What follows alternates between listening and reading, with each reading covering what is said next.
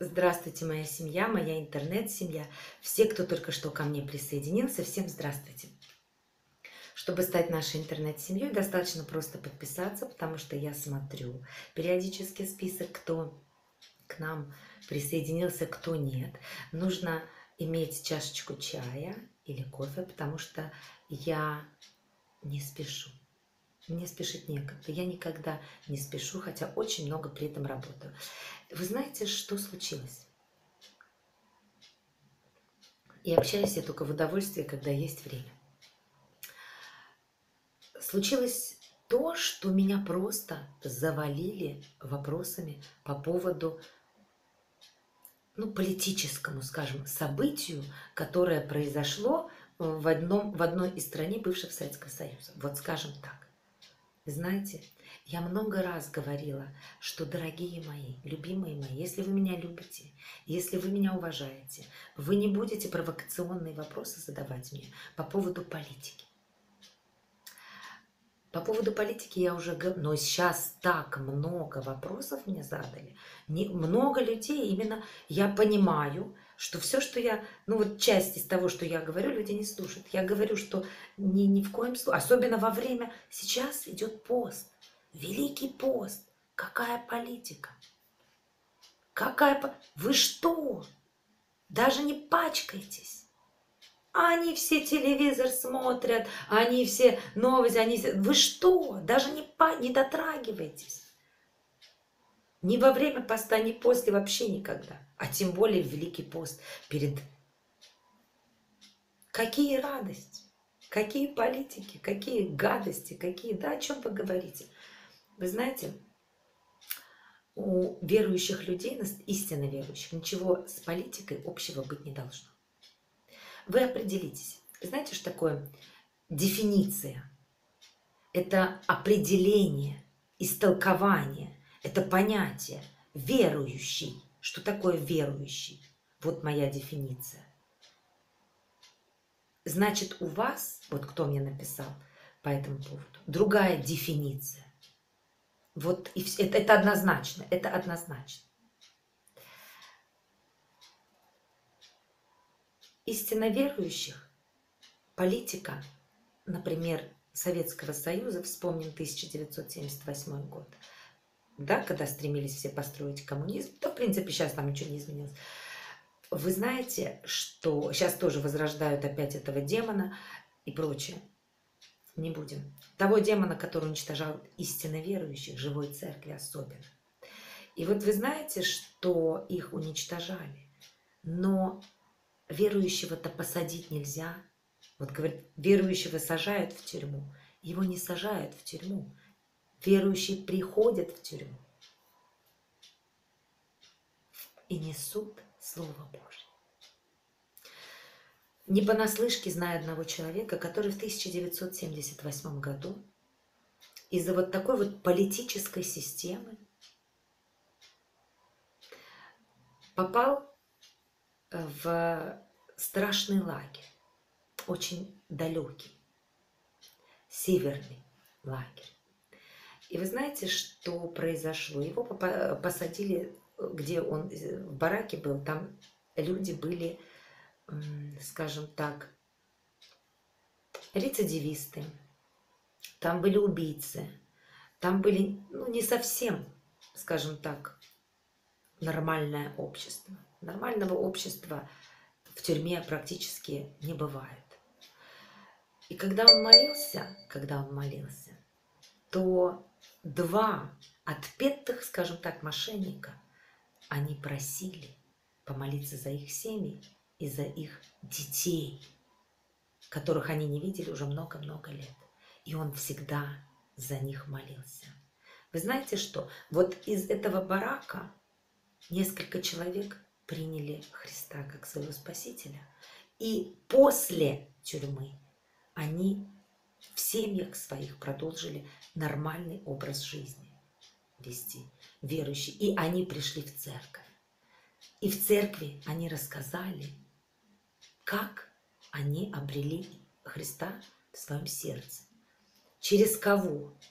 И вот человек этот понимаете, привел из лагерей в церковь. Он спас этих людей. Вот такие вот вещи происходят. Поэтому верующих, даже если когда они там погибают, они попадают.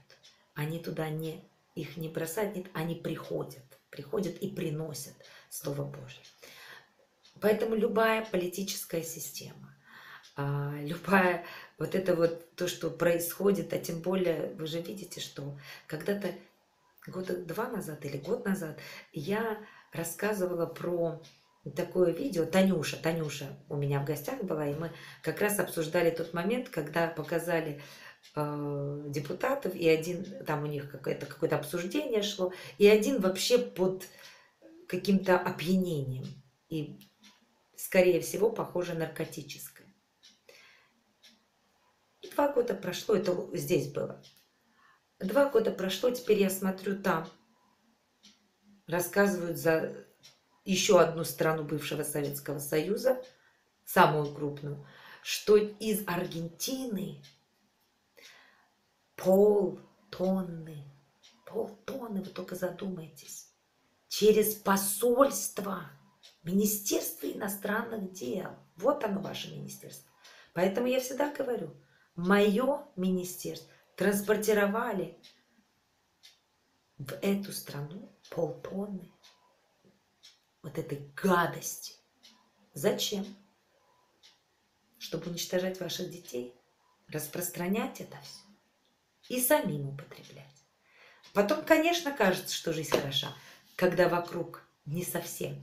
Нет, ребята, пожалуйста, не мешайте меня с этой клептократией, не мешайте меня с мафиозным государством, не мешайте меня с этими всеми системами, с этими всеми вашими партиями. Пожалуйста, меня не мешайте.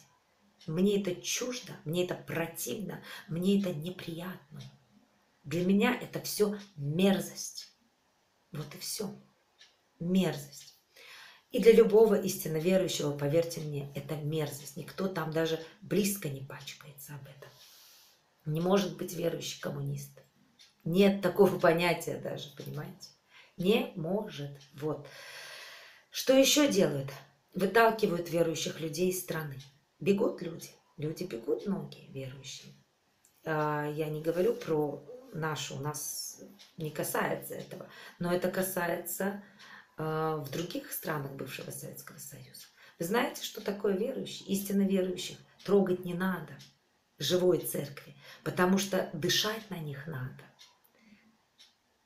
Чтобы они создавали добрые, здоровые э, в стране вашей семьи. Эти семьи сто процентов не будут ни пить, ни курить. Никакой гадости вам нет. Это будут добрые семьи, готовые помочь ближнему своему, подарить любовь и поделиться всем, что у них есть с вами. Они вас не предадут никогда, в отличие от других неверующих или номинальных верующих. Ну, в общем, это так. Что еще хочу сказать? Вытравив верующих, вы вытравите, с чем вы останетесь? С алкашами, наркоманами, кукушками, которые бросают детей, с переполненными детдомами, и ничего святого не будет. В стране должны оставаться истинно верующие, живые верующие. Я не говорю про номинальных, про мертвых, они кроме как в ад вас никуда не приведут. Я говорю про живых верующих, у вас они должны быть, потому что в Библии написано, даже если один в городе будет, он вымолит за вас потому что я не представляю, что может произойти в ближайшее будущее. А, теперь столько вопросов на политическую тему. Вообще не надо трогать меня в этом плане. Я сейчас еще скажу вам почему. Вот что случилось незадолго до смерти Иисуса. К нему подошли ученики фарисеев, были такие, которые желали независимости от Рима вместе с иродианами, членами политической партии. Знаете, был такой царь э, по Библии, библейский, Ирод. Ирод. И вот их называли иродианы. Это члены политической партии, ну это если переводить, да, которая поддерживала Рим. И стремясь вынудить его занять ту или иную политическую позицию, как вы меня вынуждаете благодаря вот этим многочисленным письмам, они спросили, должны ли иудеи платить налоги римским властям. То есть они вот его вынуждали на что-то. Вот это вот я прочувствовала, что меня эти люди вынуждают. Ну, думаю, хорошо, я отвечу. Хорошо, просите, получите. Но только я буду отвечать посредством Библии. Вот мой руководитель. И вот мое министерство. А это министерство гораздо сильнее, чем какое-либо. И уж совсем не такое, как ваше Министерство иностранных дел, друзья мои. И так, начали вот они его вынуждать, вот как меня письмами, терроризировать просто.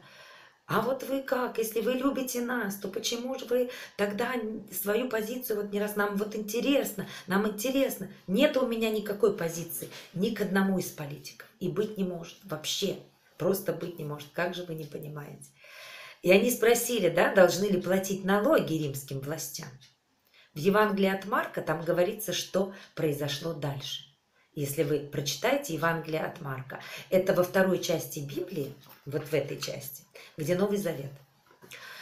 В конце Новый Завет, второй части Библии.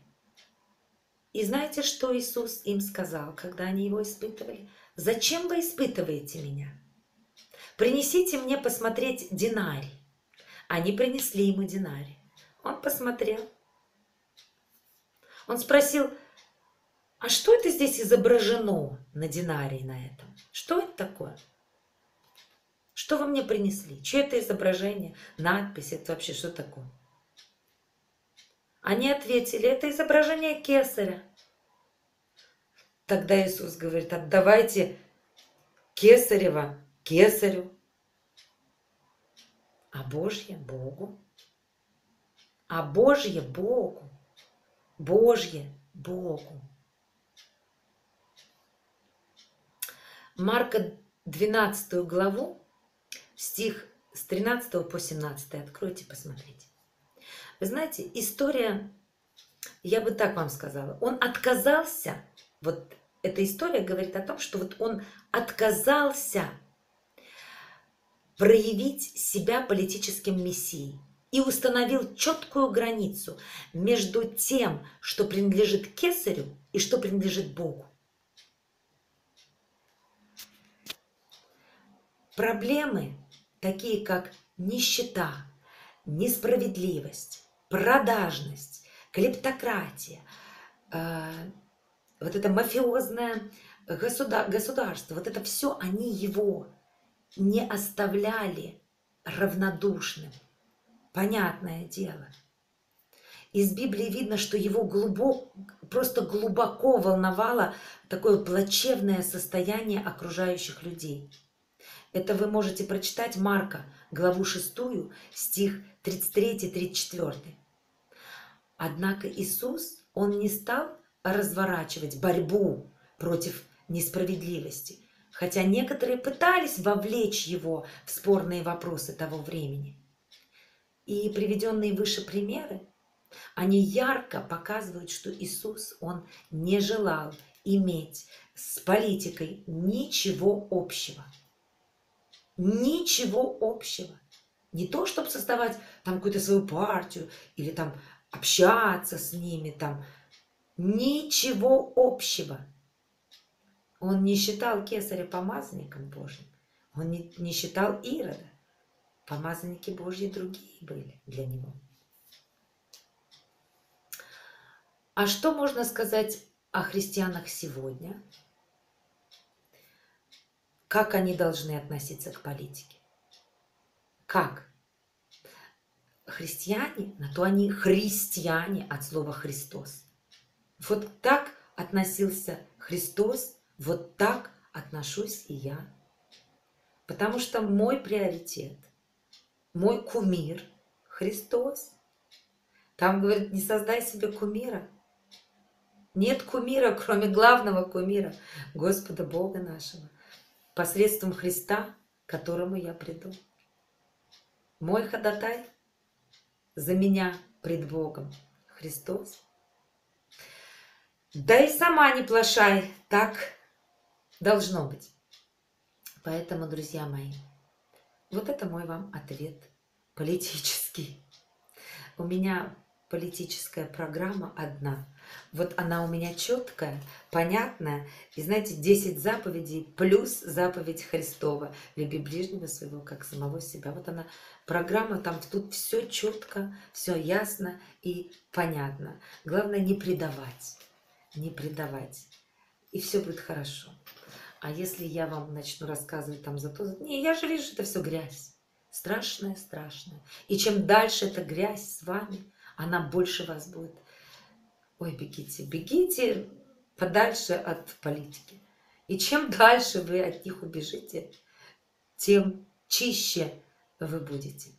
Будьте благословенны, процветания вам, любви, счастья, здоровья и все, что вы сами себе желаете – Пусть будет в ваших семьях.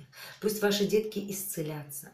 Пусть ваши мамочки исцелятся. Пусть, знаете как, ну, бывает такое, что ну, мы хороним родителей. Я это прошла, что мы, родители умирают раньше нас. Но хочется, чтобы на день дольше, на неделю больше, на месяц больше. И вот пусть Господь Бог счастья пребывания вам с родителями продлит как можно дольше. А деткам вашим здоровье дарует любовь, процветание и благословение.